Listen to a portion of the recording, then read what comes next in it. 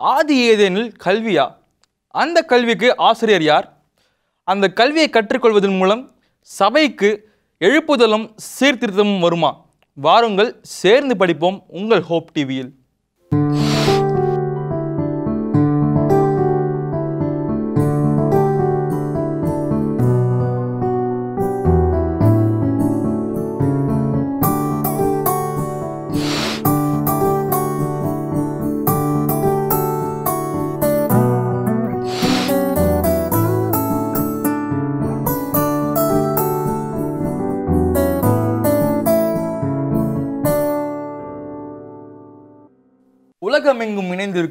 Hope TV Tamil நேயர்களுக்கு அன்பு வணக்கங்கள்.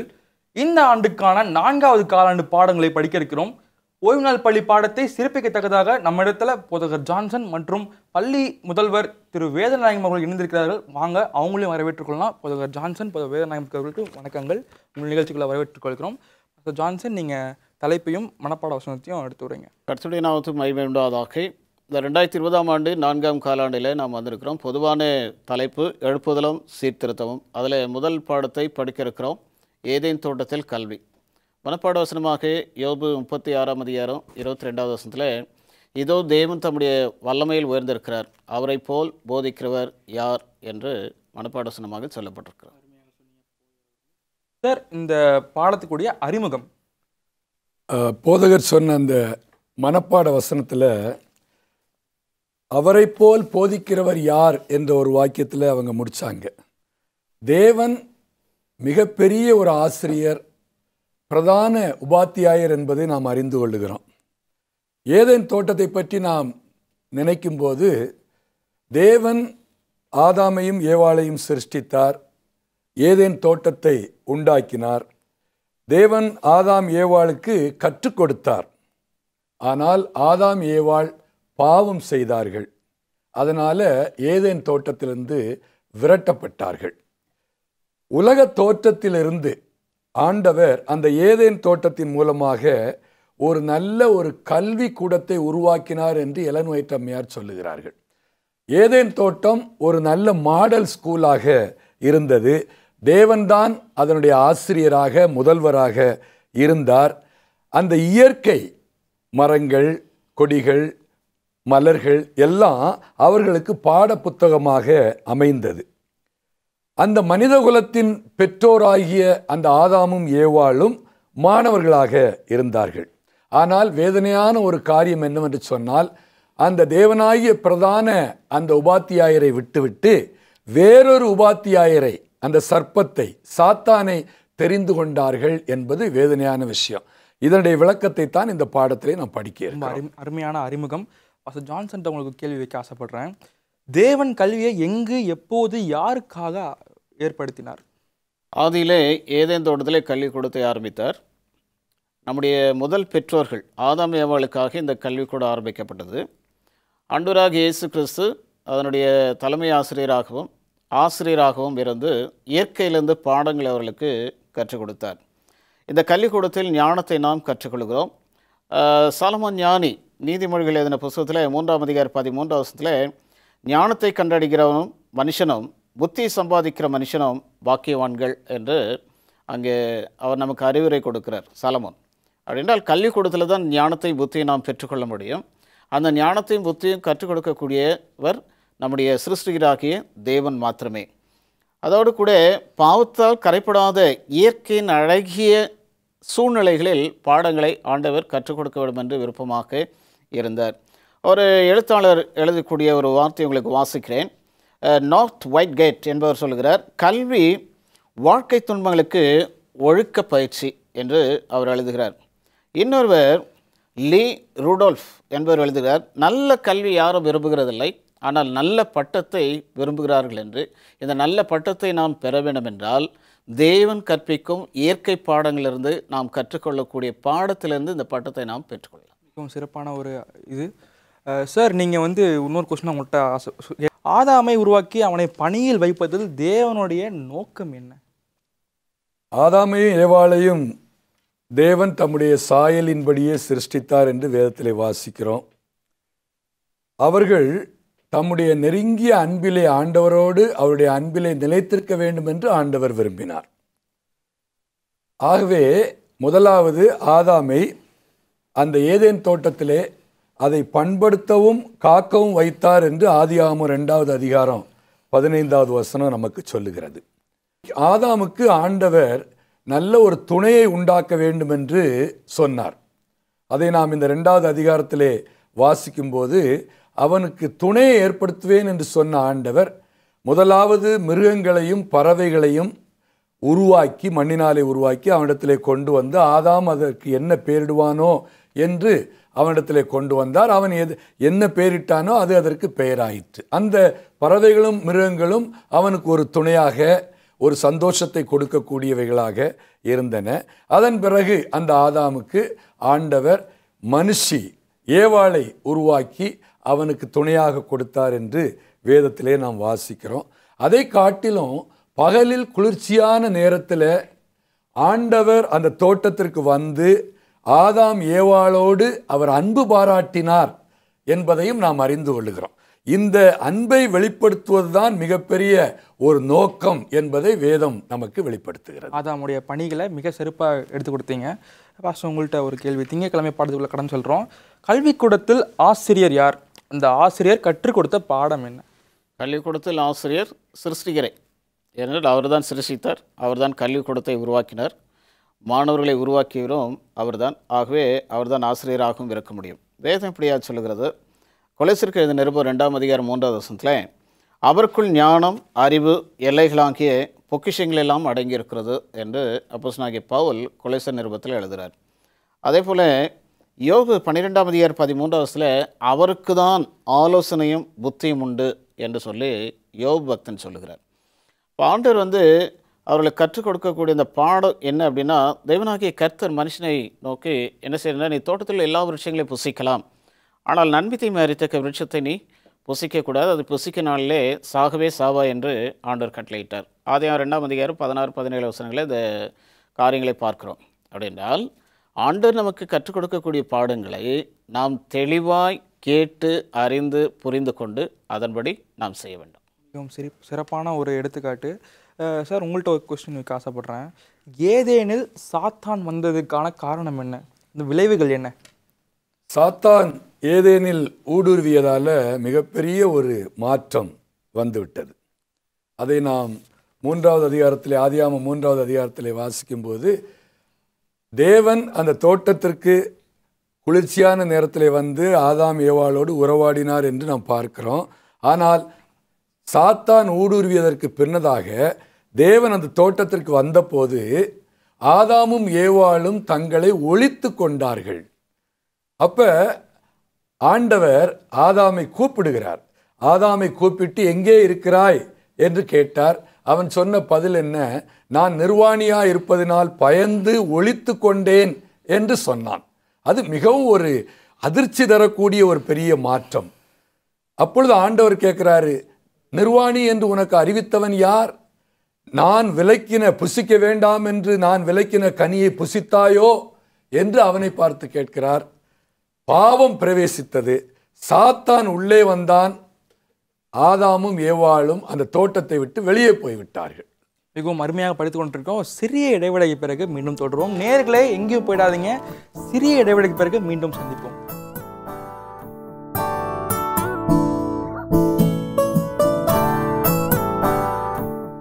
மீண்டுமாக இடைவெளிக்கு பிறகு சந்திக்கிறோம். நிறைய கேள்வி கேட்க இருக்கிறோம். வாங்க பாஸ்டர் இடத்துலையும் சார் இடத்துலையும் நிறைய கேள்வி கேட்க போகிறோம் கேட்கலாம். பாஸ்டர் சார் ரொம்ப அருமையாக விளக்கி உரைத்தார். உங்களுக்கு ஒரு கொஸ்டின் வைக்க ஆசைப்படுறேன். இது முக்கியமான ஒரு கேள்வியாக இருக்குது கர்த்தருடைய வார்த்தைக்கும் சாத்தனுடைய வார்த்தைக்கும் உள்ள வித்தியாசங்கள் என்ன? இது நல்ல கேள்வி. ஆதியம் ரெண்டாம் அதிகாரம் மூன்றாம் அதிகாரத்தை நீங்கள் வாசித்தீங்கன்னா இரண்டு அதிகாரங்களுக்கும் மாற்றங்கள் நிறைய இருக்குது அந்த இரண்டாம் அதிகாரத்தில் எல்லாமே முடித்து அந்த காரியங்கள் எல்லாம் பக்குவப்படுத்தி யார் யார் எங்கெங்கே வைக்கணுமோ எந்தெந்த பறவைகள் என்னென்ன இருக்கணுமோ ஜீவ ஜந்துக்கள் எங்கே இருக்கணுமோ எல்லாத்தையும் படைத்த ஆண்டவர் ஏதேன் தோட்டத்தில் மனிதனை கொண்டு வந்து வைத்து அவன் என்ன செய்கிறார்னா இதை காக்கும் பண்படுத்தும் வைத்து அவனுக்கு சில காரியங்களை ஆண்டவர் போதிக்கிறார். என்னென்றால் கீழ்ப்பட்டு நடக்கணும். ஆண்டுடைய வார்த்தைக்கு கீழ்ப்படைந்து நடக்க வேண்டும் என்ற காரியங்களை ஆண்டவர் வெளிப்படுத்துகிறார். இப்போ ஆண்டுடைய வார்த்தை என்னவென்றால் இந்த தோட்டத்தில் உள்ள எல்லா விருட்சங்களையும் புசிக்கலாம் ஆனால் தோட்டத்தின் நடுவில் உள்ள விருட்சத்தை புசிக்க நாளில் நீ சாகவே சாவா என்று ஆண்டவர் சொல்லுகிறார். ஆனால் சாத்தான் நீங்கள் சாகவே சாவதில்லை என்ற வார்த்தையை அங்கே வைத்து அவர்களுக்குள்ளாக ஒரு சந்தேகத்தை ஏற்படுத்துகிறான். அப்படின்றால் என்ன என்றால் இந்த சர்ப்பம் சகல காட்டு ஜீவன்களிலும் மிகவும் தந்திரமுள்ளதாக இருக்கிறபடினால் அவர்களை சந்தேகத்துக்குரியவர்களாக ஆக்கக்கூடிய வகையில் தன்னுடைய வார்த்தைகளை அங்கே போடுகிறான். இப்போது சிருஷ்டித்தவர் என்றைக்கும் பொய் பேச மாட்டார். பொய்யான வழியில் மக்களை நடத்த மாட்டார். பொய்யான கல்வியை அந்த மாணாக்கர்களுக்கு எடுத்துரைக்க மாட்டார். ஆனால் பொய்க்கு பிதாவாகிய சாத்தான் தன்னுடைய சொந்தத்திலிருந்து பொய்யை எடுத்து சொல்லி மக்களை சந்தேகப்படுத்தி அவர்கள் என்ன செய்கிறார்? தன்னுடைய வார்த்தையை நம்பும்படியாக செய்கிறான். அப்பொழுது என்ன நடக்கிறது என்றால் பாவத்துக்கு முன்பு ஆதாம் ஏவாள் வஸ்திரம் இல்லாமல் இருந்தோம். அவர்கள் வெட்கப்படாமல் இருந்தார்கள். ஆனால் பாவத்துக்கு பிறகு அவர்கள் வெட்கப்பட்டு அத்தியலைகளை தைத்து தங்களுடைய இடைக்கட்சிகளாக தரித்து கொண்டார்கள் என்று நாம் பார்க்கிறோம். என்ன செய்தி காணவில்லை? அதை பற்றி விளக்கமாக எடுத்து உரைங்க. தேவன் அவர்களுக்கு ஒரு செய்தியை சொல்லியிருந்தார். இன்னொரு வார்த்தையிலே சொல்ல வேண்டும் என்று சொன்னால் அது ஒரு கட்டளை. பதினேழாம் வசனம் ரெண்டாவது ஆதியாகமம் ரெண்டாவது அதிகாரம் பதினேழாவது வசனத்தில் ஆனாலும் நன்மை தீமை அறியத்தக்க விருட்சத்தின் கனியை புசிக்க வேண்டாம். அதை நீ புசிக்கும் நாளில் சாகவே சாவா என்ற கட்டளையிட்டார் என்று கட்டளையிட்டார். அது ஒரு கட்டளையாக அவர் ஆதாமுக்கும் ஏவாளுக்கும் சொல்லியிருந்தார். ஆனால் சர்ப்பம் வந்து கேள்வி கேட்டபோது ஏவாள் சொன்ன பதிலை நாம் பார்க்க வேண்டும். ஸ்திரீ சர்ப்பத்தை பார்த்து நாங்கள் தோட்டத்தில் உள்ள விருட்சங்களின் கனிகளை புசிக்கலாம் ஆனாலும் தோட்டத்தின் நடுவில் இருக்கிற விருட்சத்தின் கனியை குறித்து தேவன் நீங்கள் சாகாதபடிக்கு அதை புசிக்கவும் அதை தொடவும் வேண்டாம் என்று சொன்னார் என்றாள். இங்க அவ்வளவு ஒரு முக்கியத்துவத்தோடு ஒரு கட்டளையாக நீ புசிக்கும் நாளிலே சாகவே சாவாய் என்று திட்டவட்டமாக சொல்லியிருந்தார். ஆனால் அதை மிக எளிமையாக எந்த ஒரு முக்கியத்துவம் இல்லாதபடி சாதாரணமாக தேவன் நீங்கள் சாகாதபடிக்கு அதை புசிக்கவும் அதை தொடவும் வேண்டாம் என்று சொன்னார் என்று சொன்னாள். அந்த தெளிவான கட்டளையை வந்து தன்னுடைய பதிலில் கொஞ்சம் குழப்பி விட்டாள் என்று தான் சொல்ல வேண்டும். அதே நேரத்தில் அவள் திட்டமிட்டு அந்த செய்தியை திரித்து விட்டாள் என்று நாம் புரிந்து கொள்ளக்கூடாது. அப்படி அவள் செய்ய விரும்பவில்லை. அதனுடைய உண்மையான அர்த்தம் என்னவென்று சொன்னால் தேவன் கொடுத்த கட்டளையின் முக்கியத்துவத்தை அவள் புரிந்து கொள்ளவில்லை. அதை புரிய அவள் திட்டமிட்டு ஏற்றுக்கொள்ளவும் இல்லை என்றுதான் அர்த்தம். அருமையான ஒரு விளக்கம் சார் பாஸ்டர் உங்கள்கிட்ட ஒரு கேள்வி. தேவனுடைய செய்திக்கும் சாத்தானுடைய செய்திக்கும் உள்ள வித்தியாசங்கள் என்ன? யார் வெற்றி பெற்றது? அதன் விளைவுகள் என்னென்ன? தேவனுடைய செய்திக்கும் சாத்தனுடைய செய்திக்கும் உள்ள வித்தியாசம் பற்றி சார் அருமையாக எடுத்து சொன்னாங்க. அதனுடைய வெற்றி பெற்றது யார் அப்படின்னா சாத்தான் தான் வெற்றி பெற்றான். ஏன்னா சாத்தனுடைய வார்த்தைகளுக்கு தான் வார்த்தைகளுக்கு தான் ஆதமே அவள் கீழ்ப்படிந்தாங்க. கீழ்ப்படிந்து அந்த புசிக்கக்கூடாது என்ற விருட்சத்தை அவர்கள் புசித்து அவர்கள் என்ன செய்தார் என்றால் பாவத்திற்குள்ளாக விழுந்தார்கள். அப்படின்றால் ஆண்டு சொல்ல தன்னுடைய வார்த்தைக்கு கீழ்ப்படியும்படியாக தான் இந்த மாணாக்கர்களை தன்னுடைய கல்விக்கூடத்தில் மாணவர்களாக சேர்த்து கொண்டு அவர்களை உருவாக்கினர். இந்த பாடங்களை நல்ல முறையில் கற்றுக்கொண்டு நல்ல பாடத்தோடு நல்ல சிந்தனைகளோடு நல்ல அறிவோடு ஞானத்தோடு வளர வேண்டும் என்ற ஒரு காரியத்தோடு ஆண்டவர் படைத்தார்.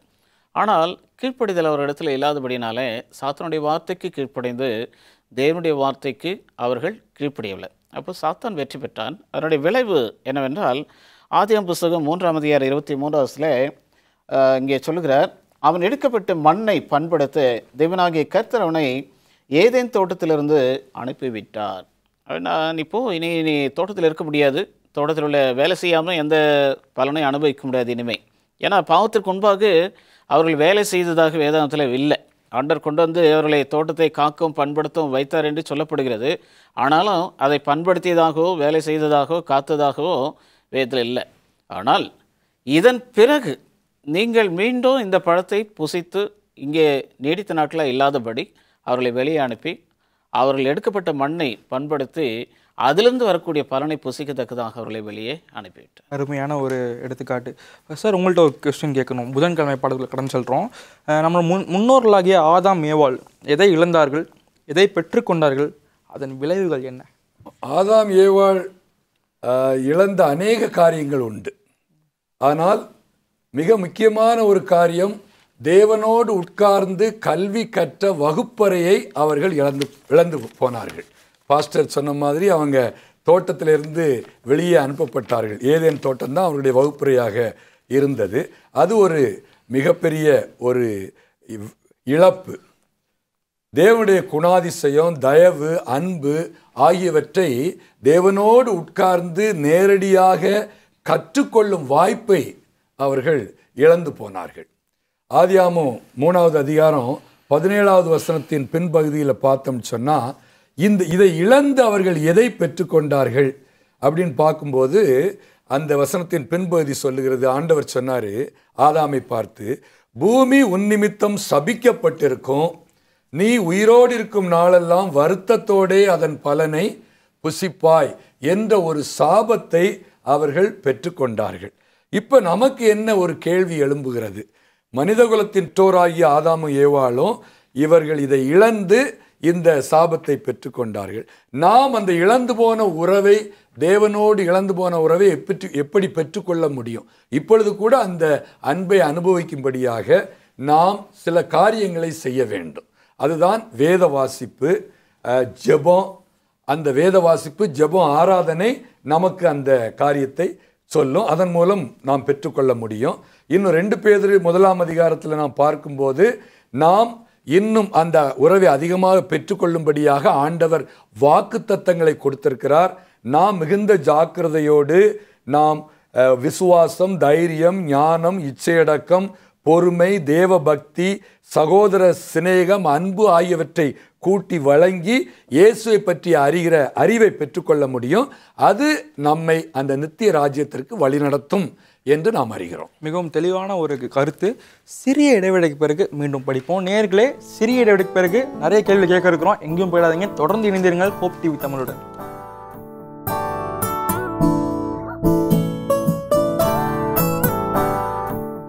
மீண்டுமாக உங்களை வரவேற்றுக் கொள்கிறேன். நிறைய படிக்க போகிறோம். வாங்க படிக்கலாம். ஃபஸ்ட்டு உங்கள்கிட்ட ஒரு கேள்வி.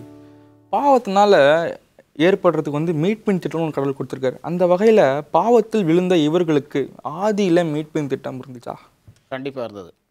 கல்வி என்ற புத்தகத்தில் இருபதாம் பக்கத்தில் அம்மையார் எழுதுகிறாங்க ஆதியில் மீட்பின் திட்டம் இல்லை என்றால் ஆதாம் ஏவாளும் நித்திய பிரிவும் முடிவில்லாத இரவின் இருளுமே அவருடையதாக இருந்திருக்கும். தேவனுடைய தொடர்பு ரட்சருடைய தியாகத்தின் மூலமாக மீண்டும் சாத்தியமாக்கப்பட்டது என்று அந்த புத்தகத்தில் இங்கே வாசிக்கிறோம். ஆதியம் மூன்றாம் அதிகாரம் இருபத்தி ஓராவது வசனத்தில் தேவனாகிய கத்தர் என்ன செய்தார் என்றால் ஆதாமுக்கு ஏவாளுக்கும் தோல் உடைகளை உண்டாக்கி அவர்களுக்கு கொடுத்து வித்தார் என்று பார்க்கிறோம். அப்படின்றால் நிச்சயமாக அங்கே ஒரு பலி செலுத்திருக்கப்பட வேண்டும். அந்த பலி எதற்காக என்றால் அவர்கள் செய்த பாவத்தை மன்னிப்பதற்காக ஒரு பலிமுறை அங்கே கொண்டு வந்தார். ரெண்டாவது பலி என்று சொல்லும் பொழுது அங்கே தொழுகை. என்றால் தொடர்ந்து நான் பாவம் செய்யும் பொழுது என்னுடைய பாவத்தை மன்னிப்பதற்காக ஒரு தொழுகை முறை ஆண்டவர் அங்கே ஏற்பாடு செய்து கொடுத்தார். அது பலிமுறை என்ற தொழுகை முறையை ஆண்டவர் ஏற்பாடு செய்து கொடுத்து அதன் மூலமாக அவர்கள் தேவனை தொழுது கொள்ளும் பொழுது நிச்சயமாக பாவ கிடைக்கும் என்று சொல்லப்பட்டிருந்தது. வேதத்தின் வாயிலாக நாம் பார்க்கும் பொழுது அப்போஸ்தலனாகிய பவுல் சொல்லுகிறார் ரோமர் கைது நிருபம் ஆறாம் அதிகாரம் இருபத்தி மூன்றாவது வசதியில் பாவத்தின் சம்பள மரணம் ஆனால் தேவனுடைய கிருபயரமோ நம்முடைய கர்த்தராகிய இயேசு கிறிஸ்தனால் உண்டான நித்திய ஜீவன் என்று சொல்லப்படுகிறது. அப்படின்றால் நிச்சயமாக பாவம் செய்கிறவனும் மறிக்கணும் இப்போ ஆதாம் ஏவாளும் மறித்தால் உலகத்தில் சந்ததிகளில் மறுபடியும் இன்னொரு புதிய ஆதாமையும் புதிய ஏவாளையும் ஆண்டவர் படைத்திருக்க வேண்டும். அப்படின்றால் அவர்களுக்கு முதலாவது பாவ மன்னிப்பை கொடுத்து அந்த பாவ மன்னிப்பு எப்படி கிடைக்கும் என்பதை அந்த வழியை காட்டி கொடுத்து அவர்களை செய்தார். மீட்பின் வரலாறு என்ற புத்தகத்தில் அம்மையர் எழுதுகிறாங்க ரட்சிப்பின் திட்டம் எனும் பாடத்தில் கிறிஸ்து அடையாளமாக ஒரு ஜீவன் அடிக்கப்பட்டது. இந்த தியாக பலி ஆதாம் ஏவாளுக்கு அவசியமாக இருந்தது. நமக்கும் தேவையானது. கடைசியில் உலக மக்களை மீட்பதற்காக கிறிஸ்து இந்த உலகத்திற்கு வந்து கல்வாரி செல்வியில் மறிப்பார் என்பதை இந்த பலிமுறை எடுத்துரைக்கிறது. ஆகவே ஆதி காலத்தில் பாவத்திற்காக மீட்பின் பணி இருந்தது. இப்போ பாவப்பட்ட மனிதனுக்கு மீட்பின் திட்டம்ன்றது இன்றையமையாதற்கு இருந்தது. ரொம்ப அருமையான ஒரு விளக்கம். சார் உங்கள்கிட்ட ஒரு கொஸ்டின் கேட்க ஆசைப்படுறேன். நன்மைக்கும் தீமைக்கும் உள்ள வித்தியாசங்களை நம்ம எப்படி அறிந்து கொள்ள முடியும்? ஆதியாமம் ரெண்டாவது அதிகாரம் பதினேழாவது வசனத்தில் நாம் பார்க்கும்போது நன்மை தீமை அறியத்தக்க விருட்சத்தின் கனியை புசிக்க வேண்டாம் என்று தேவன் ஆதாமுக்கும் ஏவாளுக்கும் கட்டளையிட்டார். ஆண்டவர் வேண்டாம் என்று சொல்லுகிற எதுவானாலும் அது நமக்கு தீமையான காரியம். அதனால் ஆண்டவருடைய வார்த்தைக்கு மீறினது எல்லாமே தீமை என்பதை நாம் அறிந்து கொள்ள வேண்டும்.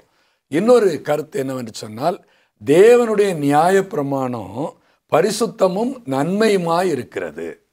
ஆகவே தேவனுடைய நியாயப்பிரமாணத்திற்கு அப்பாற்பட்டது எதுவானாலும் அது தீமைதான். இன்னும் ஒரு வழி நன்மை தீமையை அறிந்து கொள்ளக்கூடிய ஒரு வழி என்னவென்று சொன்னால் இயேசு கிறிஸ்துவானவர் சோதிக்கப்படும்படியாக வனாந்தரத்திற்கு கொண்டு போகப்பட்ட போது அங்கே அவர் பசியா நாற்பது நாட்கள் அவர் உபவாசம் இருந்த பின்பு பசியா இருந்த நேரத்தில் சாத்தான் என்ன சொல்லுகிறான்? நீர் தேவனுடைய குமாரனே ஆனால் இந்த கல்லுகள் அப்பங்கள் ஆகும்படி செய்யும் அப்படின்னு சொல்கிறான் ஆனால் சாத்தா ஆண்டவர் அதை எப்படி மேற்கொண்டார் என்பதை நாம் பார்க்க வேண்டும்.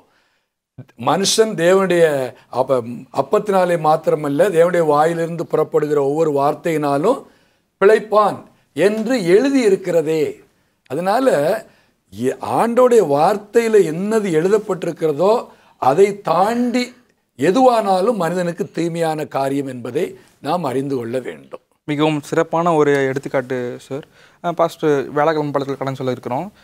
தேவனுடைய அதிகாரத்தின் மீது வெறுப்பு வர காரணம் என்ன?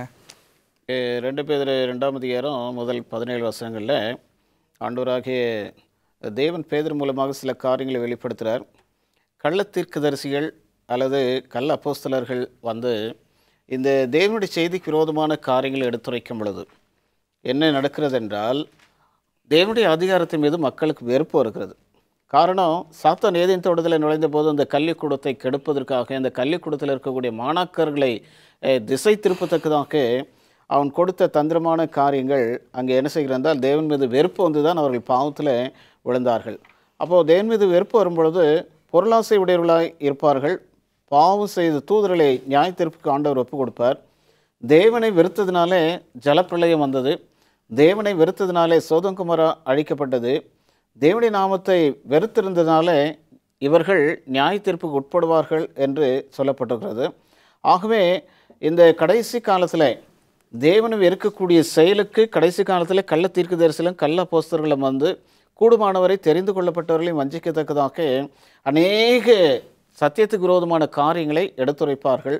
அதன் மூலமாக தேவன் மீது நமக்கு வெறுப்பு ஏற்படும் என்பதை நாம் புரிந்து கொள்ள வேண்டும். கண்டீர் துணர்த்துவது வெறுப்பாக மாறிவிட்டது. அருமையாக சொன்னீங்க. சார் உங்கள்கிட்ட ஒரு கேள்வி. பேதுருவின் ஊக்கமளிக்கும் வார்த்தைகளும் அவர் கொடுக்கும் எச்சரிப்பின் செய்திகள் என்ன? அதில் நமக்கு என்ன நம்பிக்கையின் வாக்குத்தத்தம் கொடுக்கப்பட்டுள்ளது? பேதுரு கொடுத்த எச்சரிப்பின் செய்திகளை போதகர் அவருடைய பதிலில் ரொம்ப அருமையாக சொன்னாங்க. எப்படி இந்த கள்ள போதவர்கள் கள்ள தீர்க்கதரிசிகளை எல்லாம் அழிவுக்காக ஆண்டவர் வைத்திருக்கிறார். எப்படி ஜலப்பிரளயம் வந்தது சோதம் குமாரா அழிக்கப்பட்டது என்ற அருமையான எச்சரிப்பின் செய்தியை அஹ், அவர்கள் நல்லா சொன் நன்றாக சொன்னார்கள். ரெண்டு பேர் ரெண்டாம் அதிகாரம் ஒன்பதாவது வசனத்தில் ஒரு ஊக்கமளிக்கும் ஒரு வார்த்தைகளை பேதர் நமக்கு சொல்லுகிறார். கர்த்தர் தேவ பக்தி உள்ளவர்களை சோதனையினின்று ரட்சிக்கவும் அக்கிரமக்காரரை ஆக்கினைக்குள்ளானவர்களாக நியாய தீர்ப்பு நாளுக்கு வைக்கவும் அறிந்திருக்கிறார். அதாவது நீதிமான்களை காக்க ஆண்டவர் அறிந்திருக்கிறார். அக்கிரமக்காரர்களை அழிக்கவும் ஆண்டவர் அறிந்திருக்கிறார். அதனால இந்த காரியம் நமக்கு ஒரு நல்ல ஊக்கத்தை கொடுக்கக்கூடியதாக இருக்க வேண்டும் என்று சொல்லி அஹ், இந்த வார்த்தைகள் நமக்கு சொல்லுகிறது. அதே மாதிரி ரெண்டு பேர் ரெண்டு மூன்றாவது வசனத்தில் நாம் பார்க்கும்போது பொருளாசை உடையவர்களாய் தந்திரமான வார்த்தைகளால் உங்களை தங்களுக்கு ஆதாயமாக வசப்படுத்தி கொள்வார்கள். பூர்வ காலம் முதல் அவர்களுக்கு விதிக்கப்பட்ட ஆக்கினை அயர்ந்திராது. அவர்களுடைய அழிவு உறங்காது என்று திட்டவட்டமாக சொல்லுகிறார். எபிரேயர் பதிமூணாம் அதிகாரம் ஏழாவது வசனத்தில் ஒரு நல்ல ஒரு ஆலோசனையை பார்க்கிறோம். தேவ வசனத்தை உங்களுக்கு போதித்து உங்களை நடத்தினவர்களுடைய விசுவாசத்தை பின்பற்றுங்கள். அசட்டை செய்யாதீர்கள். என்ற ஒரு ஆ- ஆலோசனையும் நமக்கு கொடுக்கிறார். பேதுருவின் வார்த்தைகள் நம்ம ஊக்கமளிக்கிறதாகவும் எச்சரிப்பின் செய்தியாகவும் நம்பிக்கையின் வாக்குத்தத்தமாக இருந்து நல்லா எக்ஸ்பிளைன் பண்ணீங்க. அதை சுருக்கமாக ஒரு கேள்வி கேட்குறேன். நாம் யாருக்கு கீழ்ப்படுகிறோம்? தேவனுடைய அதிகாரத்திற்கா? சாத்தனுடைய அதிகாரத்துக்கா நாம் கீழ்ப்படுவதற்கு தேவையானது என்ன? நாம் கீழ்ப்படுவது தேவையானது விசுவாசம். இப்போ நாம் யாருக்கு அடிமையோ அவர்களுக்கு தான் நம்ம கீழ்ப்படுகிறோம். சாத்தானுக்கு அடிமையாக இருந்தால் சாத்தானுடைய வார்த்தை கீழ்ப்படியும் தேவனுக்கு அடிமையாக இருந்தால் தேவனுடைய வார்த்தை கீழ்ப்படியும் உதாரணமாக ஆதியம் புஸ்தகம் பதினைந்தாம் அதிகாரத்தில் என்ன செய்கிறார் என்றால் ஆபிரகம் தேவனை விசுவாசனம் அது அவனுக்கு நீதியாக கண்டப்பட்டது. விசுவாசித்தான் ஆண்டவர் சொன்ன வார்த்தை கீழ்ப்படிந்தான். கீழ்ப்படிதலை பற்றி அருமையாக சொன்னீங்க. இந்த பாடத்தை சிறப்பித்து கொடுத்த போதகர்களுக்கும் பள்ளி முதல்வர்களுக்கும் நன்றிகள். நேர்களை பார்த்து கொண்டிருக்க நீங்களும் நானும் மாணவர்கள் ஆண்டவர் தான் ஆசிரியர்கள். அவர் சொல்கிற வழியை நம்ம கீழ்ப்படிந்தோம்னா நம்ம ஆண்டவர் ஆசீர்வதிப்பாராக. சார் நிறைவாக ஒரு ப்ரேயர் பண்ணிடுங்க ஜெபம் செய்வோம். எங்களை நேசிக்கிற நல்ல தகப்பனே இந்த நல்ல பாடத்திற்காக உம்மை நாங்கள் நன்றியோடு துதிக்கிறோம். இந்த பாடத்தை கேட்ட எல்லா பிள்ளைகளையும் நிறைவாய் ஆசீர்வதியும். உம்முடைய வார்த்தைகள் அவர்களுடைய இதயத்திலே இருக்கட்டும். கிருபையாய் வழி நடத்தும். இயேசுவின் நாமத்தில் ஜெபிக்கிறோம். எங்கள் நல்ல பிதாவே. ஆமென். ஆமென் மீண்டுமாக அடுத்த நிகழ்வில் சந்திக்கும் வரை தேவன் நம்மோடு இருப்பாராக. ஆமென்.